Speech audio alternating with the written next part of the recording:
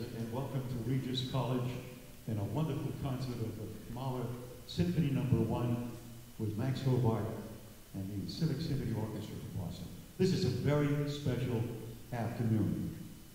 I know all of you know that Max has been the conductor of this orchestra for 38 years. That really is a record for the United States. In addition to that, Max's career goes back to Boston in 1965 when he became a member of the Boston Symphony Orchestra. At that time, the music director was Erich Leinsdorf. He's played under just about every great conductor in the world and has championed music everywhere. I treasure my times working with Max, narrating some wonderful programs that we did together with the Civic Symphony Orchestra of Boston at the Sonesta Hotel. Max was great with theme programs. We had themes, we had waltz nights, we had big band nights, opera nights where Max championed some wonderful young singers. And I even remember a night when I played, I played the part of Freddie Football when the Patriots won the Super Bowl. That's quite a few years ago. Max gave me a whole bunch of these DVDs of those concerts, and I treasure them for the great times I had with this wonderful orchestra. Max has had a wonderful career, and uh, I'd just like to say, as we salute Max, I'd like to quote Frank Sinatra, Max, stay tuned because the best is yet to come. Ladies and gentlemen, Max Hobart and the City of the Orchestra, 38 years of